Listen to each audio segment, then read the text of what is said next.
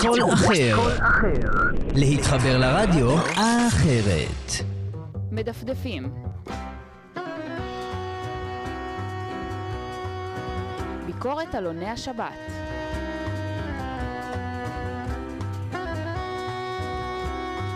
אז uh, גלעד, אני רוצה לפתוח במשהו ששמתי לב אליו uh, בהמון עלוני שבת uh, השבוע. אני כמובן אוהבת את כל הנושא הפרסומות, כי הן נורא נורא מצחיקות אותי ומשעשעות אותי, ואני.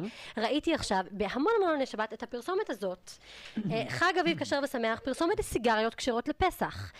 וזה הפתיע אותי מאוד, כי אין בכל השנה אין בכלל אה, פרסומות לסיגריות, ופתאום יש לנו בכל העלון השבת פרסומת לסיגריות. עכשיו, משהו שמאוד מעניין נוסף שראיתי, mm-hmm. זה שבעלון שבת אה, גילוי דעת, אה, סליחה, ישראלי, לא, טעות שלי, כן. בישראלי, אה, ממש בעמוד אה, ליד יש שאלה על הרב, האם אה, עד שמעשן הוא בעצם כשר לעדות אה, בחופה.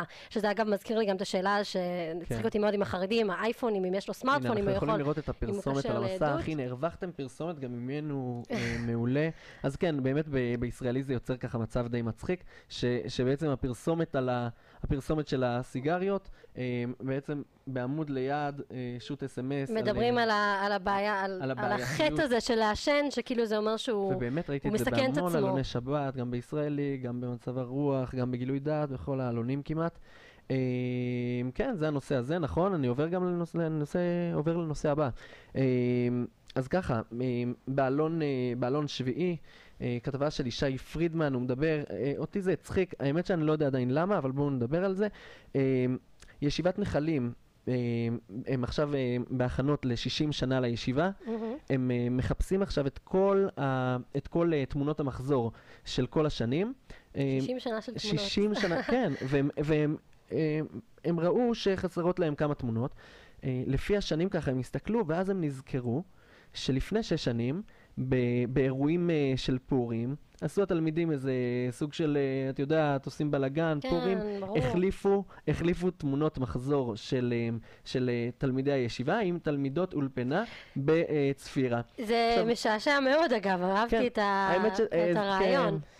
זה מצחיק, זה מצחיק אה, זה, אבל קצת פחות מצחיק אותם שהם באמת מנסים עכשיו לארגן איזה אירוע רציני, וגם פונים פה, אה, הם פונים פה ל, ל, למי שאולי זה נמצא, לבוגרים שאולי, שאולי זה נמצא, את יודעת, יכול להיות שהיום יושב מישהו, בוגר הישיבה, שיש לו בבית כמה תמונות מחזור של שנים קודמות בנחלים, אותי זה, אותי זה ממש מצחיק. מצחיק, מצחיק אה, מאוד. כן, מה רצית לדבר על גילוי דעת, נכון? גילוי דעת, כן, אז משהו מעניין שבגילוי דעת חוגגים 200 גיליונות, כל הכבוד mm-hmm. גילוי דעת, אנחנו חוגגים יחד איתכם, אבל החגיגה הייתה לא, לא מדהימה, זאת אומרת, שימו לב, היה להם ככה על הכריכה, למי שצופה בנו רואה את הכריכה. עוגת יום הולדת, עוגת יום הולדת עם, עם, עם נרות של ככה 200, ועוד איזה אזכור אחד קטן בתוך ה...